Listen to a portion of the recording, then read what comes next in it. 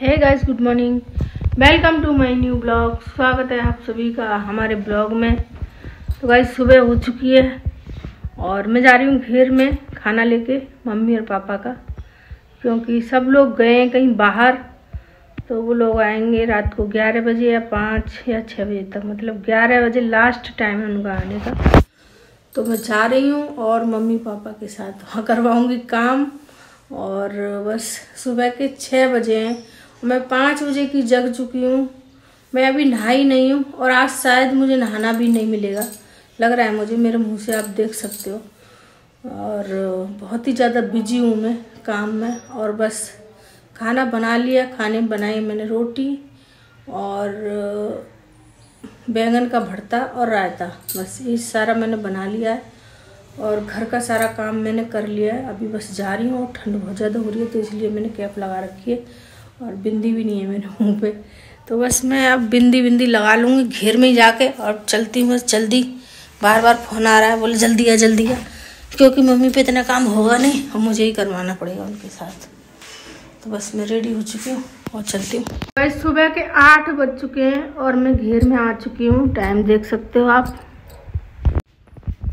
तो आज तो मैं कुछ अलग सी लग रही हूँ, अच्छी नहीं लग रही हूँ। तो मैं क्या कर सकती हूँ? जल्दबाज में मुझे आना पड़ा और अम्मी ने चाय बना के रखी थी, मैंने चाय पी ली और अभी मम्मी भैंसों के पास गई हैं, कुछ काम कर रही हैं तो फिर चलते हैं। और बहुत ज़्यादा ठंड पड़ रही है, हालत ख़राब ठंड की वजह से। तो मैं अपना चश्मा लगा लूँ। तो चलते हैं फिर। जिठानी भी गई हैं, हमारी वो नहीं है यहाँ पे। और वो गई हैं शादी में। अपनी बहन की, लड़के की शादी है तो जिठानी गई हैं शादी में। और जो उनकी बहू है, उनको गए हैं बुलाने आज। तो एक ही रूट पड़ जाता है सास बहू का। तो रतन के पापा भी गए और उनके बेटा भी गए। तो दोनों चाचा भतीजे चले गए। मैं, अम्मा, बाबा तीन जने रह गए घर में। इसकी किवाड़ लगा दूँ कुत्ता आ जाएगा। और फिर कोई सामान उठा के ले जाएगा। ठीक है, चलो फिर चलते हैं।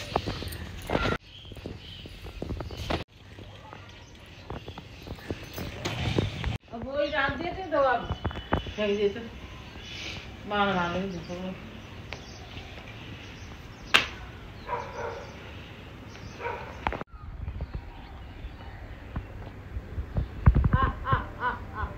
वो बच्चा के मारे कर रही है?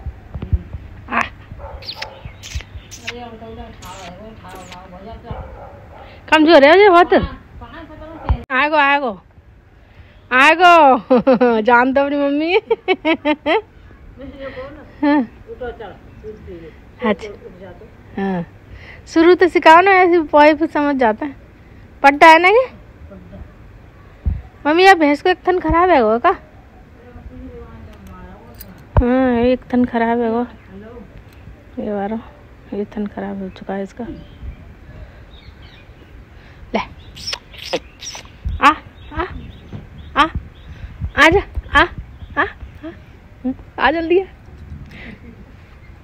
आ, ना ले रही तेरे बच्चा है मारे मत। आ ले। एक मैया। गुस्सा कर रही है भैंसिया के मेरे बच्चा ले जाएगा हूँ हाँ। आज है ले ले। कूद उठो दे हो। भाई। नहीं नहीं आदमी आए दिखावे हो कूद के। बहुत छोटा सा एकदम गोदी में ले लो। नहीं बांधे होता सली तो रहा भैंसिया है।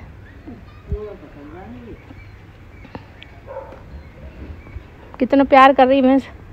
ना मैं ना ले रही बहना मेरी गुस्सा मत कर। जानते ना है अगर ये जान है ना भैंस में तो मुझे ऐसे गुस्सा ना करे। मैं मरखनी है? है हाँ दिख रही है ऐसी गुस्सा सी में। हाँ। मैं निकल लूँ यहाँ से डर लग रहा हूँ खूटा तोड़ के आ गई ना बबरा देगी अरे ना है उनका तोड़ के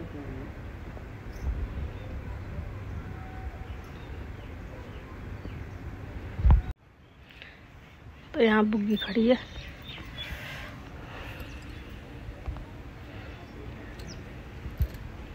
यहाँ पे बैठ गई हूँ।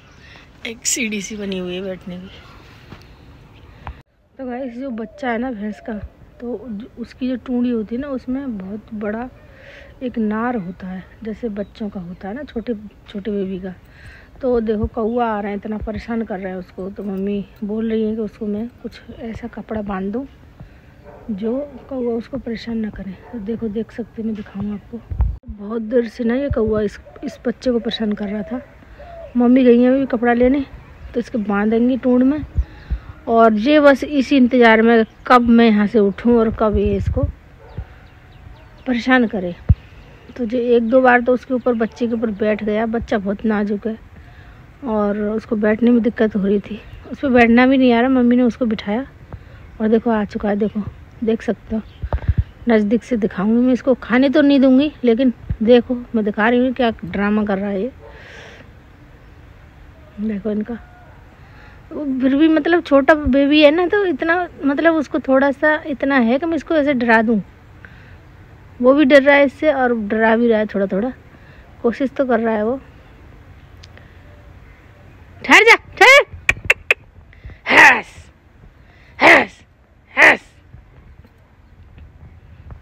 मारनी पड़ ईट मारती है, इसकी जब भी जाएगा ये।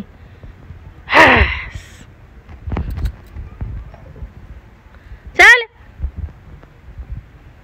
तो अभी बैठा है ऊपर। फिर देखते हैं, आएगा कि नहीं आएगा। लोवर बांधो ही अरे हद तो ये फाड़ लो या कौन पहन रहा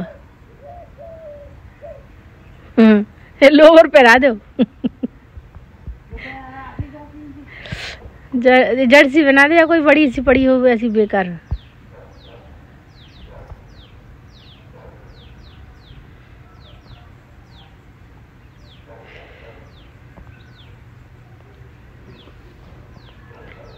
रहेगो वो रहेगो आ गए वो।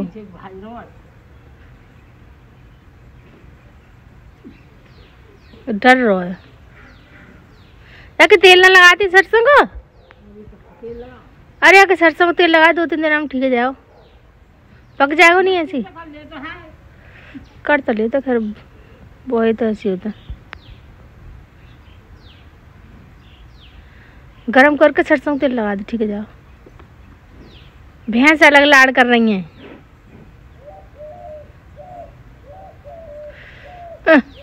ताकि वो नस ना पिच जाए कमर की, ऐसी बांधी हूँ कोई मतलब ना रहो मम्मी वो लटक रहा अलग को और नाड़ो अलग और गे अलग।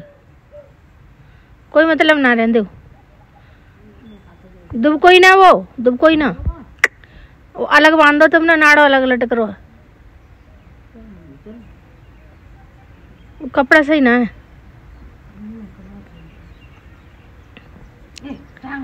है कैंची लिया कैंची। कैंची तो जाकर चीर फाड़ करके कपड़ा की। और लम्बे बनाऊँ वो। वो तो भैंस ना अंदर ही नहीं मान देती।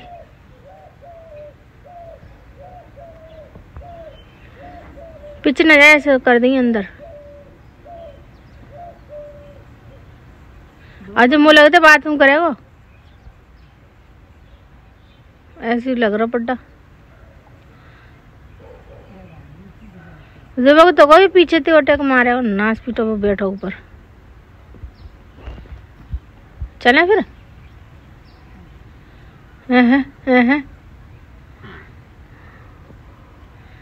वो ने खुद को ना आए नहीं वो करी ना।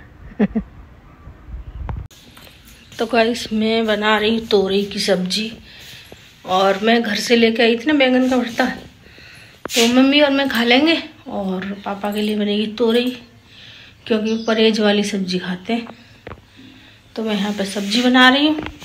तो ये मैंने तोरी काट ली है। एक किलो तोरी थी, प्लॉट में निकली थी, अपने घर की तोरी है। और ये कम नमक मिर्च वाली बनेंगी। मैंने कढ़ाई में डाल दिया तेल, और ये बन रही है। मरीज़ वाली सब्ज़ी बन रही है मतलब पापा बीमार रहते ना, उसी हिसाब से खाना बनता है उनका। तो मैं यहाँ डाल दूँगी थोड़ा सा जीरा। और मतलब तीखा नहीं बनेगा, थोड़ा हल्का हल्का मसाला पड़ेगा, ऐसे ही बना रही हूँ। तो सब्ज़ी हमारी यहाँ पे बन रही है और मैं तो वैसे हमारी यहाँ सब्ज़ी बन रही है और मैं लेके आई थी घर से लस्सी, जो कि मट्ठा चलाया था मैंने, एक किलो दही का, और लेके आई हूँ गुड़ तो अभी हम पियेंगे लस्सी और गुड़। बहुत ही ज़्यादा टेस्टी लगता है ये, आप भी कभी ट्राई कर सकते हैं। तो बस बहुत ही ज़्यादा टेस्टी लग रहा है मट्ठा और गुड़ के साथ। तो बहुत एकदम बढ़िया वाला। तो मैं इसको खा लूँ और इसको पी लूँ। किस किस को ऐसा चीज़ पसंद है? क्योंकि गाँव में ना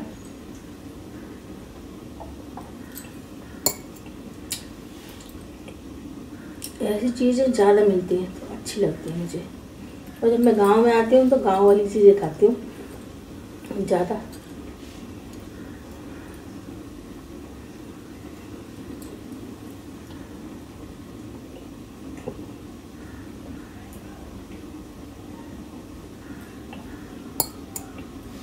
बहुत ज़्यादा अच्छी लग रही है।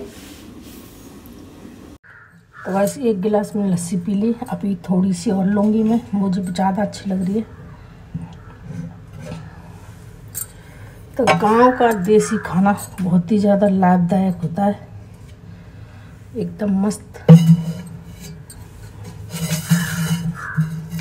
तो जैसे मैं सौ लो सौ लोड रखी ना, ऐसे अंटा मार के ऐसे हमारी मम्मी ओढ़ती हैं सास। तो मैंने उनसे ही सीखा है। बोले, कानों में ठंड नहीं लगती ऐसे ऐसे ऐसे बाँध लो ना। पहले ओढ़ लो उसको, फिर ऐसे करके, ऐसे कर लो, ऐसे कर लो। तो इससे कान ज़्यादा ढक जाते हैं। पीछे गर्दन में लगते हैं ठंड, ऐसे नहीं लगती। और एक तरह से और ओढ़ते हैं जेंट्स लोग, उसको भी बताऊँगी मैं तो अभी हो रही है शाम और मैं बना रही हूँ शाम का खाना। खाना बना कर मैं चली जाऊँ घर और आज मुझे नहाने नहीं मिला क्योंकि मैंने बताया था सुबह, क्योंकि बार बार मुझे चक्कर नहीं लगा सकती हूँ घर के यहाँ के। और मैं घर चली जाती तो फिर मम्मी पापा कौन देखता? तो इसीलिए मैं शाम का खाना इधर ही बना रही हूँ। और कम से कम छः सात जनों का खाना बनेगा। तो खाने बना रही हूँ मैं हाँ मट्ठा के आलू, रोटी, बस ये बन रहा है। और ठीक है, मैं जल्दी जल्दी काम कर लेती हूँ। तो मैं खाना बना रही हूँ दिखा दूँ सब्ज़ी कैसी बनी है। तो सब्ज़ी हमारे मट्ठा के आलू बन चुके हैं।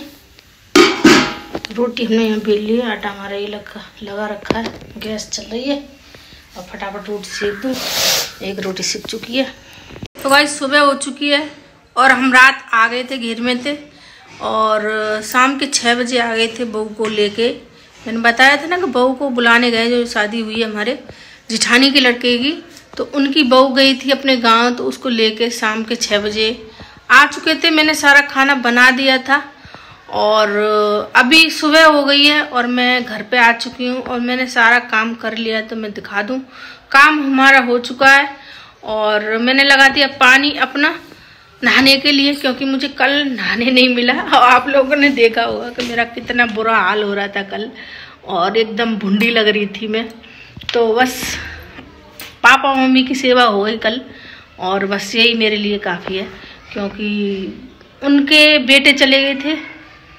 और, उनके मतलब नाती और बेटे दोनों चले गए थे। घीर में कोई नहीं था। कल सबका रोल मैंने निभाया। क्योंकि कोई था ही नहीं उनके पास और बाबा की कल तबीयत बहुत ज़्यादा ख़राब हो गई। डॉक्टर बुलाना पड़ा और उनकी सांस फूल गई थी क्योंकि वो बहुत ज़्यादा बड़ी रही है और हमारे प्लॉट में चल रहा है काम। तो इसीलिए बाबा चले गए थे प्लॉट में थोड़ा सा काम देखने के लिए, उनसे चला नहीं जाता और उनकी फूल गई सांस और बहुत ज़्यादा उनको दिक्कत हो गई। मैं घबरा गई, फिर डॉक्टर बुलाया, फिर उनके इंजेक्शन वगैरह लगाया। तो समझ सकते हो आप तो उनके साथ रहने के लिए कोई ना कोई होता अगर मैं घर पे बैठ के यहाँ अच्छे से तैयार होती और अपना मेकअप वगैरह करती, उसमें लगी रहती तो बताओ उनको कौन देखता? तो मैंने अपना कल अपने बारे में नहीं सोचा, उनके बारे में सोचा तो कोई बात नहीं कभी कभी चल जाता है ऐसे। ठीक है? तो आप लोग ऐसे कमेंट मत करना कि आप ऐसी क्यों लग रही थी। तो कोई बात नहीं भाई, पहले वो मेरे लिए, मेरी सास ज़रूरी है और मैं बाद में, ठीक है? तो अभी देखो मैं काम सारा मैंने कर लिया, चाय नाश्ता बन चुका है और आज भी मैं घेर में जाऊँगी क्योंकि घेर में से सुबह फ़ोन आ चुका है, हमारी जिठानी गई है अपने गाँव शादी में और वो बहू आ चुकी उसकी छोटी सी एक बच्ची है और वो उसको काम नहीं करने देती है और घेर में थोड़ा काम ज़्यादा है तो इसीलिए मुझे हेल्प करानी पड़ेगी। मम्मी का फ़ोन आ गया कि तू खाना मत बनाना घर। इधर ही खाना बनेगा। मैंने मना किया, मैंने कि मैं अपना खाना खुद बना लूँगी, किसी के ऊपर मतलब ज़्यादा बोझ नहीं डाल सकती हूँ। तो मम्मी बोल रही है कि नहीं, ऐसी कोई बात नहीं है। और उनका भी, मेरे हस्बैंड का भी फ़ोन आ चुका है तो फिर सबकी बात माननी पड़ती है। घर में रह कर एक दूसरे से थोड़ा बाहर अच्छा बना कर रहना पड़ता है, क्योंकि ऐसे चलता है गाँव में। ठीक है? तो ठीक है मैं दिखा दूँ घर का का, काम सारा हो चुका है। यहाँ पे मेरा पानी गर्म हो गया बस नहाने के लिए मैं जा रही हूँ।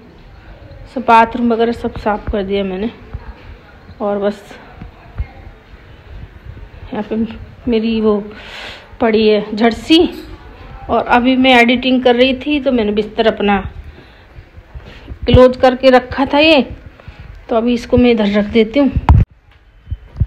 तो देख सकते हो रूम मेरा ठीक हो चुका है। ये मेरे कपड़े रखे, इनको पहनूँगी मैं अभी और पूरा झाड़ू पोछा मैंने कर दिया है।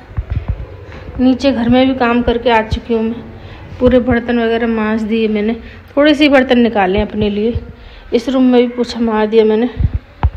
तो ठीक है गाइस इस वीडियो करूँगी मैं ही पे एंड और जब तक मैं गाँव में रहूँगी ना तो गाँव की चीज़ें दिखाऊँगी, कैसे रहते हैं, हम क्या क्या करते हैं गाँव में रह के। तो वो सारा आपको देखने को मिलेगा और मतलब एकदम देसी स्टाइल मिलेगी और कोई ज़्यादा बनावटी काम नहीं मिलने वाला। तो आप लोग हमारे ब्लॉग से जुड़े रहिए और आने वाले में अभी गिर जाती, क्योंकि पीछे हट रही थी ना तो ये चार पाई थी तो इसीलिए थोड़ा टकरा के गिर जाती, पीछे सद गई मैं।